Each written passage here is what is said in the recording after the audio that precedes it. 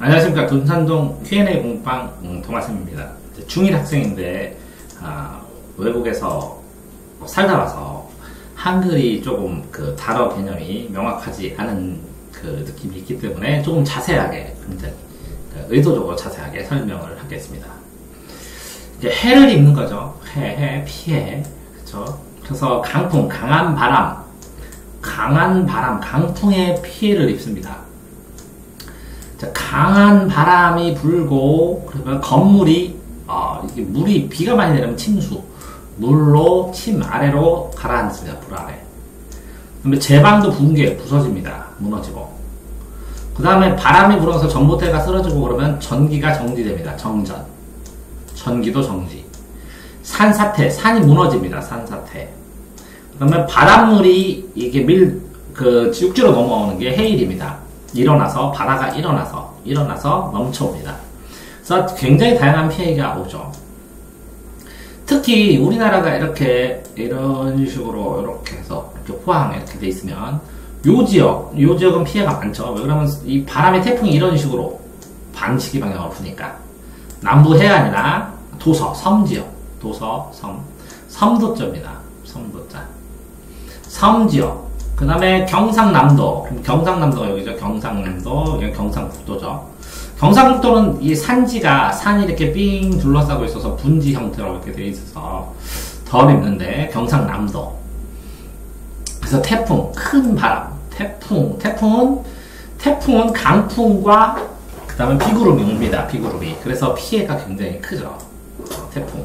클 태자 풍입니다. 바람풍. 그래서 태풍을 예방하기, 예방, 예방, 예, 예비로 방지하기 위해서 제방을 쌉니다, 제방. 근데 제방이 약하게 싸면 붕괴가 됩니다. 그러니까 제방 관리를 잘해야죠. 방파제를 만들고, 댐을 쌌습니다. 물이 한꺼번에 오면 침수 피해가 되니까 댐으로 적절하게 가둬놨다가 흘려줍니다. 그 다음에 저수지, 물을 담아놓습니다. 저수지를 건설해서 물이 한꺼번에 안 빠져나가게. 산, 숲을 심으면, 산림을 만들면, 이 나무가 물을 좀 가지고 있다가 천천히 흘러주면 맑은 물이 계속 흐릅니다. 그래서 산림을 조성하고요. 홍수를 경고하고 보고하는 경보체제를 구축해서 홍수가 온다! 그럼 준비해라, 대비해라, 라고 하는 겁니다. 구축은 만드는 거죠. 어, 대비. 체계를, 어, 시스템을 구축합니다. 그래, 그러기 위해서 필수적으로 필요한 게 지도 정보 시스템입니다. 지리, 지리, geometry, 뭐 information system, GIS 시험에 다른 학교에도 이거 나왔는데요, GIS. 그래서 이용해 가지고 하천, 강과 바다, 강 바다를 관리합니다. 하천 관리를 합니다. 지정보 시스템, GIS 이거 자체요. 저렇게 비가 많은 피해를 주기도 하고 폭설, 이 폭을 한꺼번에 폭탄처럼 한꺼번에 오는 눈, 눈도 문제입니다. 이제 북쪽에서 차가운 이제 시베리아, 그럼 우리나라가 이렇게 330, 이렇게 있으면, 이렇게 있으면, 여기가 시베리아죠. 시베리아에서 차가운 공기가 겨울철에 내려옵니다. 그러니까 시베리아 공기단체, 공기단, 대기권과 상대적으로 따뜻한 한반도 주변의 바다, 이 바다하고 충돌합니다. 요거, 그러니까 여기서. 충돌하면, 이렇게 이 차가운 것과 뜨거운 게 만나면 여기서 얼음방울이 생기면서 여기에서 여기에다가 눈을 쏟아놓습니다. 눈을. 그러면서 바다에 있는 습기가 습기가 올라와서 차가운과 말아서 얼어가지고 이렇게 떨어서 눈으로 내리죠. 눈으로. 그래서 변질되어서 바다를 건너와서 한반도의 바다의 습기가 따뜻한 습기가 시베리아 기단 차가운 공기를 마르면 얼어버려서 눈으로 내려버립니다.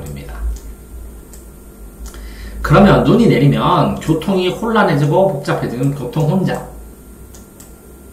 비행기도 이착륙이 어렵습니다. 아, 이착륙이 어렵고 농작물 눈이 폭설이 되면 다 넘겨 얼어버리죠. 그 다음에 이제 하우스 같은 거 여기도 눈 무게가 무거워지고 이게 무너지고 축사도 무너지고 시설물이 붕괴되죠. 그 다음에 산도 무너져 내립니다. 산사태. 자 이렇게 보면 그죠? 장마철, 장마는 오랫동안 음, 찬 공기와 더운 공기가 우리나라에 머물면서 안 움직여요. 오랫동안 비가 내. 장마청에서 집중적으로 호우, 비가 많이 내리죠. 호우, 비우자죠. 집중 호우. 그 다음에 집중 호우나 아니면 지진. 그죠? 화산이 폭발하거나 인간의 무분별한 개발로 산지 개발로 산지를 개발해서 벌채 나무를 다 잘라버리니까 산이 무너지죠. 이런 걸로 인해서 발생되는 게 피해. 대피할 여유 없이 갑자기 일어나서 주택을 덮칩니다. 산이 산사태. 도로도 덮쳐버리고 농경지도 덮쳐버립니다. 그래서 다 묻어버립니다. 맹물내버려요. 그래서 휩쓸려 가요. 그래서 인명, 사람의 생명이나 재산들이 피해가 발생하는 산사태가 일어나기도 하죠. 그 산사태, 산사태. 산이 무너지면서 땅이 갈라지는 건 지진입니다. 집중호우 때도 비가 내리면 땅이 무너져요. 장마철에서. 아, 산사태는 화산이 폭발할 때도 생기고요. 그 다음에 이렇게 무분별한 산지 개발에도 생깁니다. 그래서 산사태가 일어난 이유는 어, 집중호우, 지진, 화산이 폭발, 인간의 무분별한 벌목 벌채, 나무 깨는 거 이렇게 네 가지죠. 그럼 다섯 가지, 나머지 다섯 번째가 답이겠네요. 그래서 시험 문제 산사태의 원인이 아닌 것은 해서 나오겠네요. 어, 장마철 집중호우, 집, 지, 화, 그죠? 그 다음에 무분별한 산림의 벌채, 개발, 산림으로. 그죠? 어, 개발, 개월, 개월, 지화, 철, 지하장. 그죠? 어, 장마철의 집중호우, 지진, 화산 폭발, 그 산림의 개발과 벌채 등으로 발생하는 게 산사태입니다. 자, 폭설에 대한 대책은 폭설, 어, 이거 폭설. 눈이 한참 많이 내리는 거에 대한 대책은 건축물 설계를 할 때 최대한 적설량, 적설량. 눈이 쌓이는 게 눈이 누적되는 거. 최대 적설량을 버틸 수 있도록 설계합니다. 고려 생각해서. 그러니까 눈에도 안 무너지는. 그래서 비닐하우스 같은 거는 철제 심이 몇 세, 몇 미리, 몇 두께가 몇 미리 이상을 써라. 그래야 보상해준다. 뭐 이런 게 있습니다. 그래서 최대로 눈을 버티는 거. 적설량. 눈, 쌓인 거를 최대로 쌓인 것도 버틸 수 있도록 설계를 하고 제설 작업은 눈을 제거합니다. 제거. 제설 작업. 그래서 염화칼슘이 소금이거든요. 소금. 염화칼슘. NaCl2. NaCl2. NaCl. NaCl2. 염화칼슘. 소금. 소금이랑 소금을 뿌리면 잘 녹아요.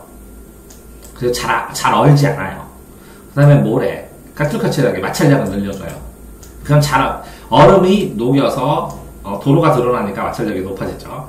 그래서 어, 소금이 있으면 소금물은 참더 드러나니까 좀 추워도 덜 얼어요. 얼질 않아요.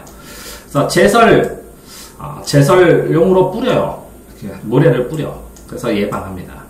그 다음에 제설 기구를 총 어, 분리 확보를 하고 어, 원활하게 잘 활발하게 제설 작업을 진행할 수 있도록 하게 합니다. 교통 소통, 교통이 잘 소통, 통행이 잘 되게 하는 대책은 또가 뭐가 있냐? 교통 소통 대책은 대중교통을 이용하면 여러 사람들이 이용하는 버스나 이런 거 적극 홍보하고 그러면 어, 막히진 않으니까 대중교통을 증편해서 증가해 편수를 그래서 어, 사람들이 더 자주 버스가 오니까 자주 안 오니까 택시 타고 자기 차 타고 가잖아요. 이렇게 증가, 증편시켜서 운행하고 등하교 시간을 조정을 해가지고 어, 너무 막힐 때는 아, 등교 시간 좀 낮추든가 그러겠죠. 개인적인 노력도 필요하네요. 집 앞에 눈 치우기 이렇게 눈을 치워야죠. 껌 빌딩 같은 거는 집 앞에 반드시 피워, 치워야 됩니다. 자동차 지붕이나 뭐 비닐하우스는 좀 개인, 개인이 치우죠. 비닐하우스 개인 거, 자동차 지붕도 본인이 치우죠. 눈 쓸어내리기 눈스러내기.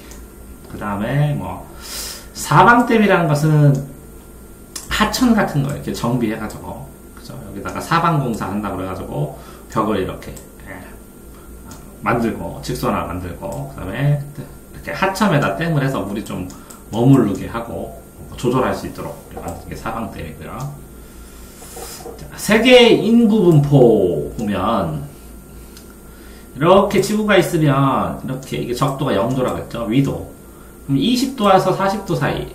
그럼 요 사이에 많은 이제 중위도의 온대 기후에 중위도의 온대 기후에 이제 열대 기후는 사장을 하게 되고 더우니까 움직이기 힘들어요. 그러니까 한 대나 냉대도 어, 냉대나 한 대도 추리가 움직이기가 힘들어요. 근데 이제 온대 기온 적당하죠. 적당한 기온이니까 이제 인구가 밀접하게 밀접하게 많이 면적당 인구가 얼마나 되는가 밀도예요. 밀접해서 있는 정도. 어, 밀도가 높아갑니다. 적도 지역 부 근 지역이나 그다음 남의 예, 이제 북이 어, 남북 그 60도 이상 극지방에는 인구 밀도 이 위에는 없어요. 그러니까 인구가 이쪽 지역에 많다는 거죠. 여기 유럽, 그죠? 러시아, 그다음에 중국, 한, 국 일본, 그러니까 미국 이렇게 많이 모여 있다는 거죠. 인구 밀도가. 근데 요 극지방이나 적도 지역 여기에는 인구 밀도가 적다는 거죠. 이건 적다. 요 빨갛게 칠한 데는 많다. 20도에서 40도 지역에 많다. 뭐 남이는 여기는 오스트리아밖에 없으니까 아, 많지 않고 여기는 뭐 북쪽이 더 많다는 거죠.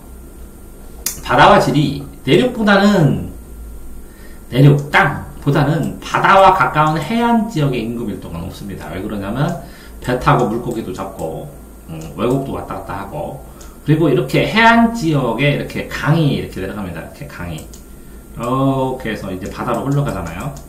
그러면 여기가 하류 지역에 평야가 많습니다. 평야. 평야가 있어야 거기서 쌀 농사를 해서 먹고 사니까 아, 평야는 평야에서 조금 끝까지 가면 이제 바다니까 아, 하류 지역에 이 높은 산 있는 데서 사람 안 살잖아요. 그러니까 평야 지역에 내륙보다는 땅, 육지보다는 바다와 가까운 육지, 그럼 땅, 내륙은 안에 소라, 육지의 안쪽이죠, 안쪽. 안쪽보다는 물과 가까운 곳에 인구가 많습니다. 해발고든 해발고든 이제 바다가 0이에요. 평균 높이가 0을 출발해서 이렇게 예, 높이라고 하는데 해발고도 높이 해발고도가 낮은 하천 주변 그죠? 저지대 그러니까 평야가 있어야 평야가 있어야 자, 해발도보다 높은 것은 산이겠죠. 해안 지역의 인구가 밀집해서 밀집해서 밀도 있게 집합해 있습니다. 밀집. 자, 여기 보시면 자연적 요인으로 전통적으로 인구가 분포 퍼져 있는 건 분포 퍼져 인구가 퍼져 있는 게 큰 영향을 주는 요인은 기후 따뜻한 온난한 지역 그죠? 지형 평야. 그다음에 식생 어 벼가 많이 자라. 토양 아 기름져서 아, 농사 짓기 좋아. 이렇게. 아, 기후 기후 날씨. 예, 그다음에 여러분 어, 지형 땅 이건 하늘 날씨 이건 땅. 지형 그죠? 그 땅인데 농사지어서 먹을 땅. 식생 토양. 어, 이런 게 영향을 줍니다. 하늘의 기후, 땅의 지형, 그죠? 토양, 농사질 땅, 벼농사할 땅이 있으면 사람이 많이 살죠. 자연적 요인이 중요하고 기후 온화 지역에 어느 정도 따뜻한 지역에 평야이면서 넓은 지역에 토양이 비옥한 곳에 기름진 곳에 물을 얻기 싫어야 되니까 강가에 이런 지역에 인구가 밀집합니다.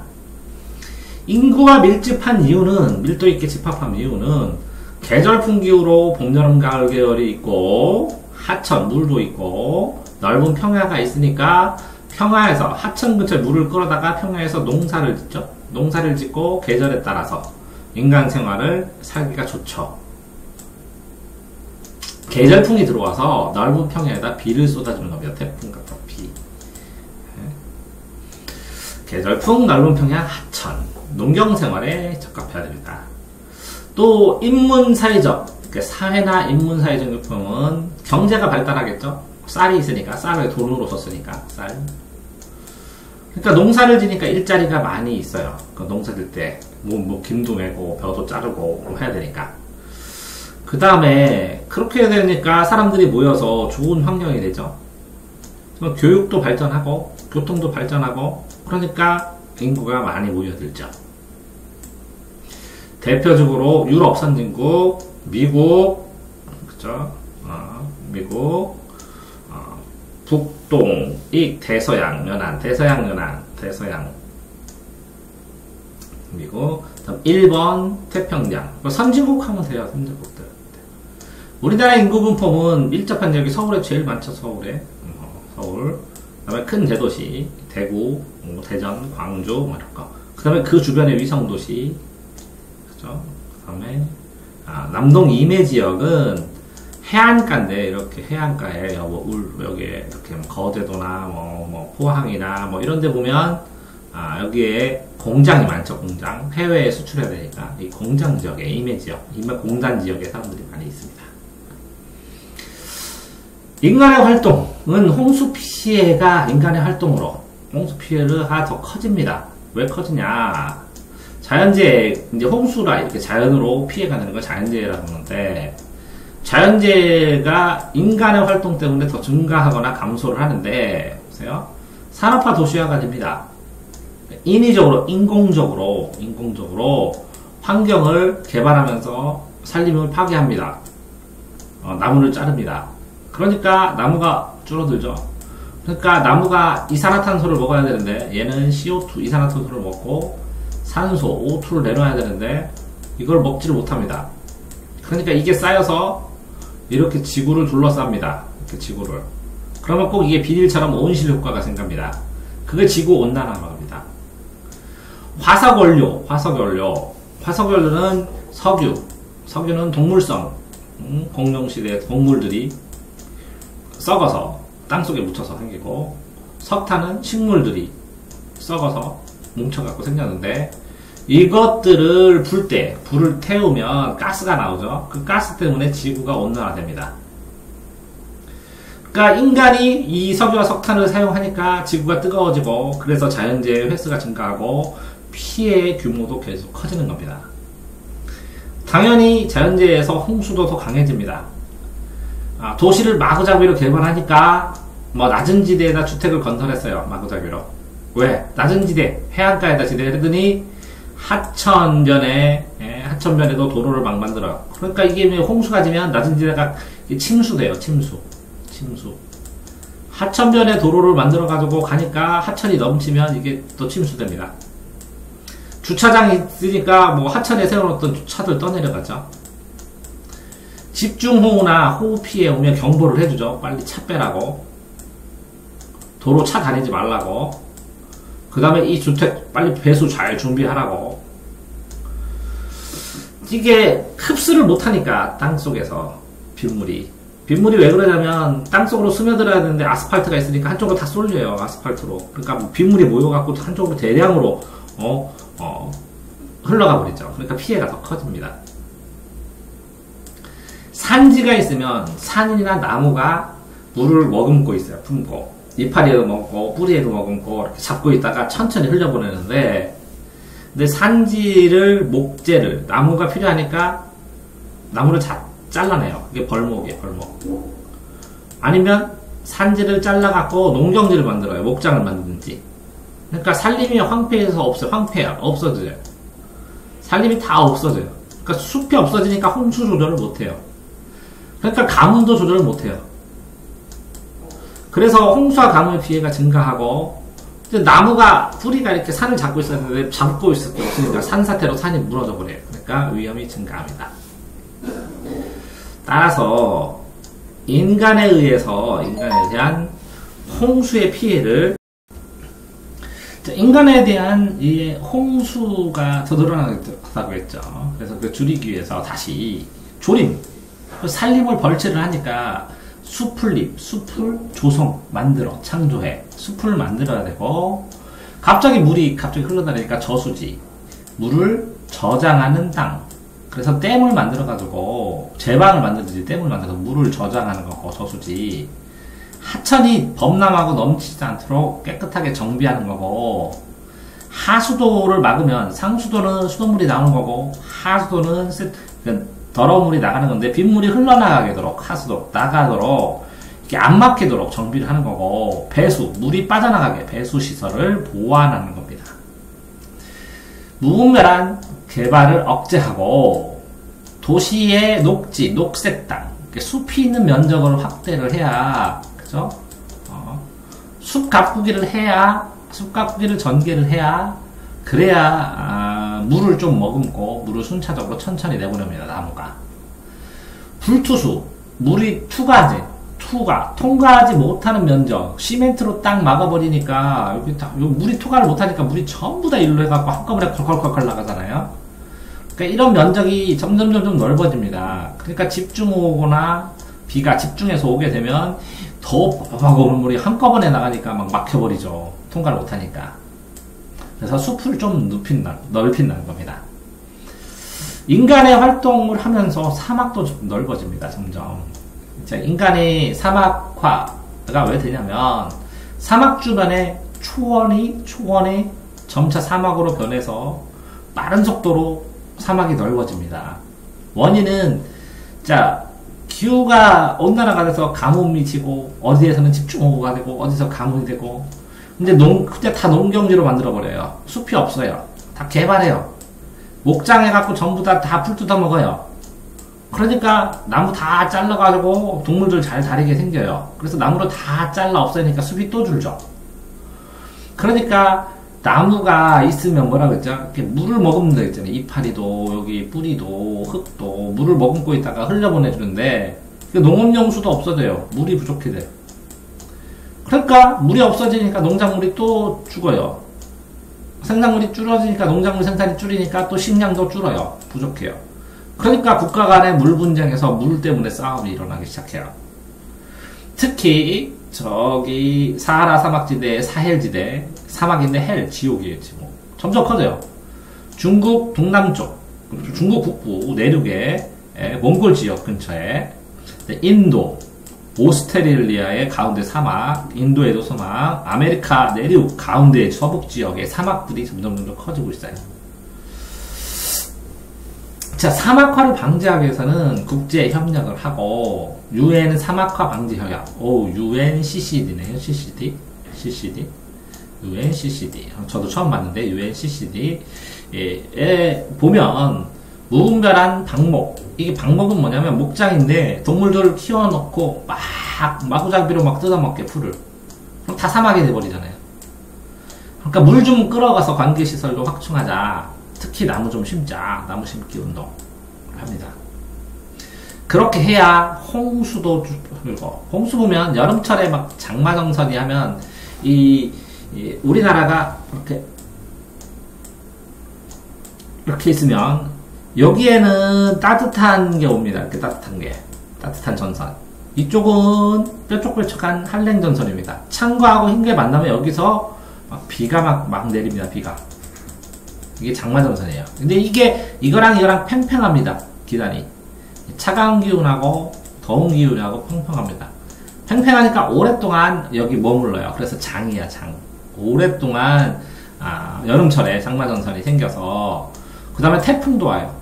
태풍호. 장마전선 비가 계속 내리고 지속적으로 태풍은 한꺼번에 확 많이 내리고 그래서 집중해서 호우 비가 많이 내려요. 자, 폭우나 태풍의 영향으로 제방이 부서지고 뚝으로 만들어서 흙으로 막아는 배수 시설이 다 막혀버리고 부족하면 홍수가 나고 농경지가 뭐 농경지가 물속에 잠기면 병충해로 이 농작물이 다 죽어버려요. 병충해 때문에. 주거 지역이 침수되면 들어오져 갖고 막 다 씻고 그래야죠. 시설이 다 무너져 버리죠. 비가 물이 스며 들어 갖고 틈이 벌어지면 붕괴돼 버립니다. 무너집니다.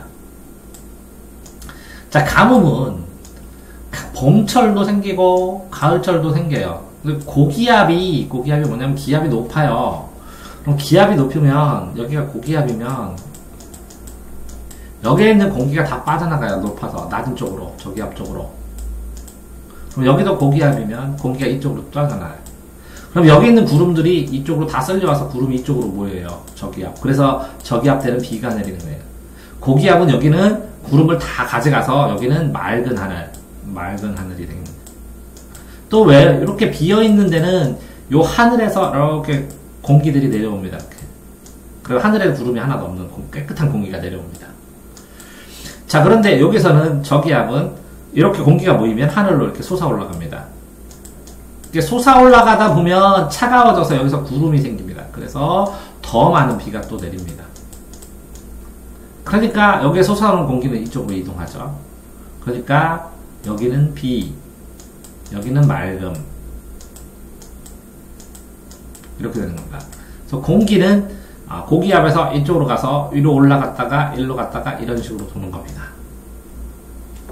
근데 어쨌든 봄 가을에 봄 가을에 고기압이 이동하는 하는데 원래는 이동하는데 머물러요. 머무르니까 머무르니까 고기압만 계속 있으니까 뭐라고요? 가뭄이 계속 지는 거죠. 왜? 구름이 안 와.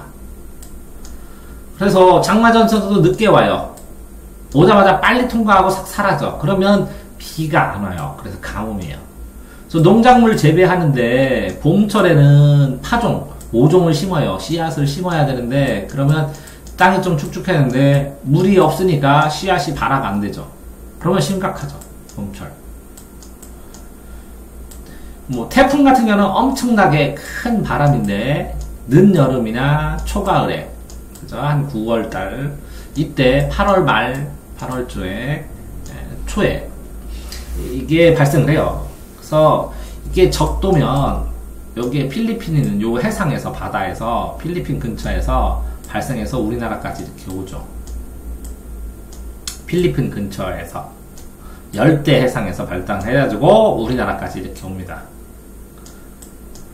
우리나라까지 오면 뭐 1년에 두세 개가 엄청 센 게 오죠. 그래서 영향을 받죠. 태풍의 경로는 열대 해상에서 발생해서 어, 이렇게 서로 이런 식으로 자 그러면 이렇게 보면 여기서 발생을 하면 여기서 발생을 하면 이런 식으로 간다는 거겠죠. 그러니까 이런 식으로 간다는 거겠죠. 그러니까 이게 북쪽이고 이게 서쪽이니까 북서쪽으로 가다가 이렇게 휘어온다는 거죠. 북서쪽으로 가다가 북위 30도 중에 동중국에서 북동쪽으로 이렇게 여기서 북동쪽으로 여기 북이고 동이니까 북동쪽으로 북서쪽으로 가다가 북동쪽으로 그죠? 이렇게 북서로 가다가 북동쪽으로 북이 30도쯤에서 왜 그러냐 음, 북동쪽으로. 왜 그러냐면 여기서 이런 식으로 바람이 불거든요. 음, 이렇게. 여기는 이런 식으로 불고 어, 방향을 바꿉니다. 자, 인구가 희박한 지역은 어, 태백산맥 산맥인데 뭐. 태백산, 백, 태백산, 소백산 아, 일대 산맥에는 없죠. 산 꼭대기 산지 지역에 없고 농어촌도 좀 적죠. 도시가 더 많죠. 인구 이동, 인구 이동은 경제적 조건 돈 많이 주는 대로 가죠. 어, 쾌적하고 더 환경 좋은 대로 가죠. 자유로운 생활하는 대로 보장하는 대로 가죠. 그래서 나라마다 국제 돈 벌러 다른 나라로 가는 국제 이동, 국내 이동, 시골에서 도시로 이동 범위가 좀 좁겠죠. 이거보다는 국제보다는 영구적으로 완전히 이사하기도 하고 돈 벌러 갔다 다시 오기도 하고 뭐 이동 기간이 오래 되기도 하고 짧기도 하고 자발적으로 이동하기도 하고 강제적으로 이동하는 건 옛날 노예고 경제적 이동 그러면 의지를 가지고 돈 벌러 가는 거죠. 이동이지. 그러면 인구가 들어온다 그러면 흡입이라고 해요. 흡입. 흡인. 이 요인, 흡수하는 요인, 배출하는 요인, 요건, 요인, 요인. 어? 원인이 뭐냐고, 요인, 원인.